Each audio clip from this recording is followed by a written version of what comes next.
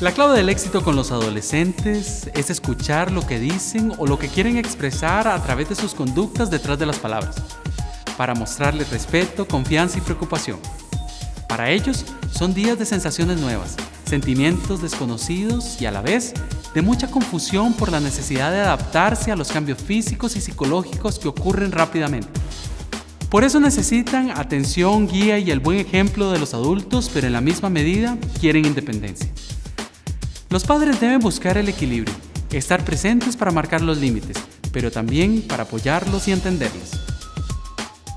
Los adolescentes suelen reclamar que los quieren pero no los escuchan, no se interesan en las cosas importantes para ellos y que no les dan tiempo exclusivo. Recuerden, cuando existe buena comunicación, los adolescentes se meten en menos problemas.